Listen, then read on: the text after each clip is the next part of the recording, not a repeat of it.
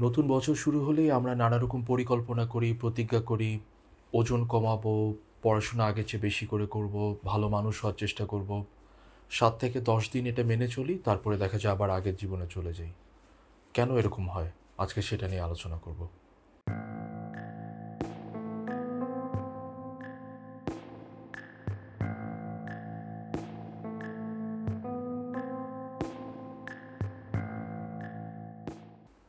আমি আহসান আজি সরকার, আমি একজন সাইকিয়াট্রিস্ট বা মানসিক রোগ বিশেষজ্ঞ। আমি চাকরি করি জাতীয় মানসিক স্বাস্থ্য ইনস্টিটিউটে। ডাক্তারির পাশাপাশি আমি গবেষণায় আগ্রহী। আমি একজন এডিটর হিসাবে সাইকিয়াট্রিক জার্নালে কাজ করি। আমার স্পেশাল ইন্টারেস্ট হচ্ছে সাইকিয়াট্রি, নিউরোসাইকিয়াট্রি এবং বিহেভিয়ারাল নিউরোসায়েন্সে আমি বিশ্বাস করি যে মানুষকে যদি সাইন্টিফিক্যালি সঠিক তথ্য দেওয়া যায়, তাহলে মানুষ নিজেকে বুঝতে পারে এবং মানুষ নিজেকে বুঝতে পারলে পার্সোনালি গ্রো করে এবং তার ওয়েলবিং নিশ্চিত হয়। তো আলোচনা করছিলাম যে মানুষ কেন নিজের পরিকল্পনা বা প্রতিজ্ঞা রাখতে পারে না। এর অনেক রকম এক্সপ্ল্যানেশন আছে, আমি খুব সিম্পল একটা এক্সপ্ল্যানেশন দেব। এক্সপ্ল্যানেশনটাকে বলা হয় false hope syndrome false hope syndrome তাহলে কি? ফলস হোপ সিনড্রোম হচ্ছে বারবার একই আশা করা, কিন্তু পূর্বে এই আশার পিছে অনেক ব্যর্থতার ইতিহাস আছে। বারবার ব্যর্থ হওয়ার পর আশা করে যাওয়া। মানুষ কি কি কারণে ব্যর্থ হতে পারে? কিংবা কীভাবে পরিকল্পনা করি বলে আমরা ব্যর্থ হই জীবনে? খুব সিম্পল একটা থিওরি হচ্ছে ফলসোপ সিনড্রোম ফলসোপ সিনড্রোম মনে করে যে মানুষ চারটাভাবে ব্যর্থ হতে পারে। মানুষ যখন পরিকল্পনা করে, তখন সেই পরিকল্পনার মধ্যে চার রকমের ভুল থাকতে পারে। প্রথম রকমের ভুল হচ্ছে আমরা পরিমাণ নির্ধারণে ভুল করি। অর্থাৎ যে পরিমাণ লক্ষ্য আমরা অর্জন করতে পারব তার চেয়ে কম বা বেশি পরিমাণ নির্ধারণ করে ফেলি। যেমন ধরা যাক, একজন মানুষ হয়তো মনে করলে যে আমি দুই মাসে দশ কেজি ওজন কমাবো। দুই মাসে সর্বোচ্চ হয়তো চার কেজি ওজন কমানো সম্ভব। এই যে পরিমাণ নির্ধারণে ভুল, এর ফলে আমরা আমাদের লক্ষ্য পূরণ করতে পারি না। আরেকটা যেটা হতে পারে, আমরা পরিকল্পনা করার সময় যেটা ভুল করি, সেটা হচ্ছে সময় নির্ধারণে আমরা ভুল করি। সময়টা হচ্ছে ধরা যাক একজন পড়াশোনা করতেছে, তার সামনে পরীক্ষা আসছে। পরীক্ষার জন্য তার যে প্রিপারেশনের সময়, সে হয়তো মনে করছে যে আমি সাত দিন প্রিপারেশন নিলেই পরীক্ষা ভালো হবে। কিন্তু তার সময় দরকার হচ্ছে পনেরো দিন বা তিরিশ দিন। তো এই সময় নির্ধারণে ভুলের কারণে আমরা আমাদের প্রতিজ্ঞা বা পরিকল্পনাগুলো পূরণ করতে পারি না। তিন নাম্বার যে কারণে আমরা আমাদের প্রতিজ্ঞা পূরণ করতে পারি না। তিন নাম্বার কারণ হচ্ছে আমরা কতটুকু পরিশ্রম করা দরকার, এটা আমরা বুঝতে পারি না। একটা লক্ষ্য পূরণ করার জন্য কি পরিমাণ পরিশ্রম বা ইফোর্ট দেওয়া দরকার, এটা সম্পর্কে আমাদের ধারণা থাকে না। ধরা যাক আমি ইউনিভার্সিটিতে চান্স পেতে চাই। এখন ইউনিভার্সিটিতে চান্স পেতে হলে আমাকে হয়তো তিন মাস প্রচুর পড়াশোনা করতে হবে। নিয়ম ধরে সকালবেলা ঘুম থেকে উঠতে হবে, ছয় থেকে আট ঘণ্টা পড়তে হবে, সময় মতো রাতে ঘুমাতে যেতে হবে টিভি দেখা কমাতে হবে। এগুলো সব ইফোর্ট এবং পরিশ্রমের কাজ। তো আমরা যদি কতটুকু পরিশ্রম এবং ইফোর্ট দিলে আমরা লক্ষ্য পূরণ করতে পারব, এটা যদি নির্ধারণ করতে না পারি, তাহলে লক্ষ্য পূরণ করতে পারব না। চার নাম্বার যে ভুলটা আমরা করি, সেটা হচ্ছে কোনো একটা লক্ষ্য পূরণ করলে আমাদের জীবনে তার প্রভাব কতটুকু হবে, সে সম্পর্কে আমরা ওভার এস্টিমেট করি। আমরা মনে করি যে আমি যদি আমার লক্ষ্য পূরণ করতে পারি, তাহলে আমার জীবনে হয়তো অনেক বড় পরিবর্তন চলে আসবে। তো লক্ষ্য পূরণ করার পরে দেখা যায় যে আমার জীবনে আসলে সেরকম কোনো পরিবর্তন আসছে না। যেমন অনেকে আছে ওজন কমায়, যে ওজন কমালে লোকজন আমাকে সুন্দর বলবে, লোকজন আমাকে বেশি অ্যাটেনশন দিবে। কিন্তু মানুষের অ্যাটেনশন পাওয়ার একটা ক্রাইটেরিয়া হয়তো আপনার বাহ্যিক সৌন্দর্য আরও অনেক ক্রাইটেরিয়া আছে। তো উনি হয়তো কিছুদিন ওজন কমিয়ে ফেলল, তারপর দেখছে যে মানুষ আসলে অত বেশি অ্যাটেনশন দিচ্ছে না। তখন হতাশ হয়ে যায় এবং তার লক্ষ্য পূরণের যে পরিশ্রম করা সেটা বন্ধ করে দেয়। তাহলে এই ফলস অফ সিনড্রোম বলে যে আমরা এই চার ধরনের ভুল করি। একটা হচ্ছে আমরা পরিমাণ নির্ধারণে ভুল করি, একটা হচ্ছে কতটুকু সময় লাগবে সেটাতে ভুল করি, একটা হচ্ছে কতটুকু পরিশ্রম বা ইফোর্ট দেওয়ার প্রয়োজন সেটাতে ভুল করি, আর আরেকটা হচ্ছে আমাদের জীবনের উপর আমরা যে লক্ষ্যটা পূরণ করতে চাচ্ছি তার প্রভাব কতটুকু, সেই প্রভাব এস্টিমেশন করতে আমরা ভুল করি। তো এই চার ধরনের ভুলের কারণে আমরা আমাদের প্রতিজ্ঞাটা ধরে রাখতে পারি না বা পূরণ করতে পারি না। ফলস হোপ সিন্ড্রোম কাদের মধ্যে বেশি দেখা যায়?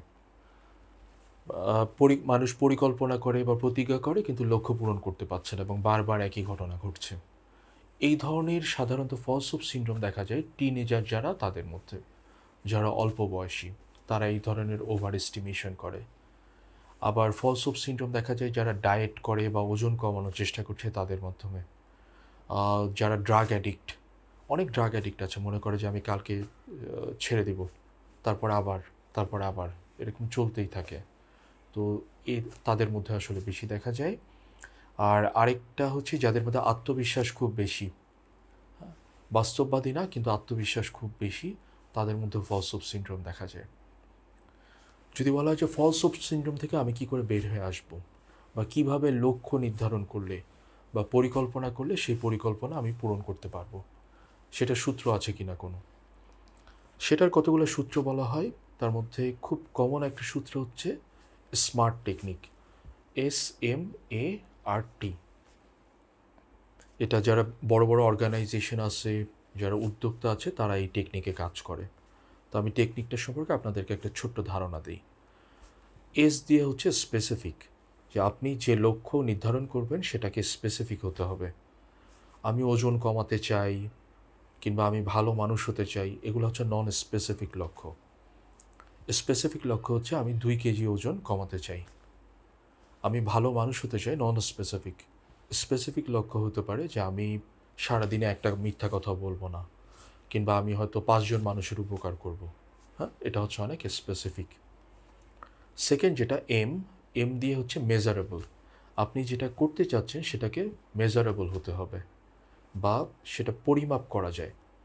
আমি ভালো ছাত্র হতে চাই, এটা না। আমি পরীক্ষায় এইট্টি পার্সেন্ট বা নাইনটি পার্সেন্ট মার্ক তুলতে চাই মেজার করা যায়। কিংবা আমি ওজন কমাতে চাই মেজার করা যায়। দুই কেজি, পাঁচ কেজি, এতটুকু ওজন কমাতে চাই। তাহলে স্পেসিফিক হতে হবে এবং মেজারেবল বা পরিমাপ করা যায়। আপনি যে লক্ষ্যটা পূরণ করতে চাচ্ছেন বা নির্ধারণ করেছেন সেটা এরকম হতে হবে। তিন নম্বর হচ্ছে এ এ দিয়ে হচ্ছে অ্যাচিভেবল বা অ্যাটেইনেবল আপনি যেটা লক্ষ্য নির্ধারণ করছেন বা পরিকল্পনা করছেন সেটা অ্যাচিভেবল হতে হবে বা অর্জন করা যায় এরকম হতে হবে। ধরা যাক একজন হয়তো মনে করছে যে আমি এক মাসের মধ্যে এক হাজার ক্লায়েন্ট রিচ করব। তার নতুন একটা বিজনেস এক মাসের মধ্যে হয়তো সর্বোচ্চ পাঁচজন বা দশজনকে রিচ করা সম্ভব। তো যেটা করতে চাচ্ছেন, সেটাকে অ্যাচিভেবল হতে হবে এবং অ্যাটেইনেবল হতে হবে। চার নাম্বার যেটা, সেটা হচ্ছে রেলেভেন্ট আপনি যেটা করছেন, সেটা আপনার জীবনের লং টার্ম গোল যেটা, সেটার সাথে প্রাসঙ্গিক হতে হবে। সেটা আপনার মূল্যবোধের সাথে প্রাসঙ্গিক হতে হবে। যেটা আপনার লং টার্ম গোল এবং মূল্যবোধের সাথে প্রাসঙ্গিক না সেই লক্ষ্য আপনি পূরণ করতে পারবেন না। এবং সব শেষে হচ্ছে টাইম টি দিয়ে হচ্ছে টাইম স্পেসিফিক আপনি যে গোলটা নির্ধারণ করতে যাচ্ছেন বা পরিকল্পনা করতে যাচ্ছেন, সেটাকে একটা নির্দিষ্ট সময়ের কাঠামোতে বেছে দিতে হবে। ধরা যাক আমি তিন মাসের মধ্যে সব বই পড়ে শেষ করে ফেলব, পরীক্ষার প্রিপারেশন নিব, সময় লাগবে, কিংবা আমি এক সপ্তাহে এটা করব সেকেন্ড সপ্তাহে এটা করব। এইভাবে টাইম স্পেসিফিক করে ধরতে হবে। তাহলে আমরা পরিকল্পনায় তিন ধর চার ধরনের ভুল করি। একটা হচ্ছে আমরা পরিমাপ নির্ণয়ে ভুল করি। আমরা সময় কতটুকু লাগবে এটাতে ভুল করি, পরিশ্রমে ভুল করি এবং আমাদের জীবনের উপর এটার প্রভাব কতটুকু হবে সেটা ভুল করি এবং ভুল করার ফলে আমরা আমাদের প্রতিজ্ঞা বা পরিকল্পনা এটাকে পূরণ করতে পারি না। সেখান থেকে বের হয়ে আসার একটা সহজ উপায় হচ্ছে স্মার্ট টেকনিক আপনি যে লক্ষ্য নির্ধারণ করবেন, সেটাকে স্পেসিফিক হতে হবে, সেটাকে মেজারেবল বা পরিমাপ করা যায় এরকম হতে হবে, সেটাকে অ্যাচিভেবল বা অর্জনযোগ্য হতে হবে, সেটাকে রিলেভেন্ট বা আপনার মূল্যবোধ এবং লং টার্ম গোলের সাথে প্রাসঙ্গিক হতে হবে এবং সেটাকে টাইম রিলেভেন্ট হতে হবে বা তার একটা নির্দিষ্ট ডেডলাইন বা সময় থাকবে। তো এইভাবে আপনারা লক্ষ্য সেট করেন। আমার মনে হয় লক্ষ্য সেট করলে, জীবনের বড় বড় না ছোট ছোট যে লক্ষ্যগুলো আছে সেগুলো সেট করার চেষ্টা করেন। আমার মনে হয় যে আপনাদের কাজ অনেক সহজ হয়ে যাবে। আমি শুরু করেছিলাম যে নতুন বছরের প্রতিজ্ঞা বা পরিকল্পনাগুলো মানুষ কেন রাখতে পারে না বা মানুষ কেন লক্ষ্য পূরণ করতে পারে না। এবং আমি সমাধানের জন্য একটা ছোট্ট সূত্র বলে দিয়েছি, স্মার্ট। আপনারা আপনাদের জীবনে কাজে লাগাতে পারেন। আজকে এতটুকুই থাক। ভবিষ্যতে আরও কোনো বিষয় নিয়ে আলোচনা করব। আপনারা ভালো থাকবেন। আল্লাহ হাফিজ।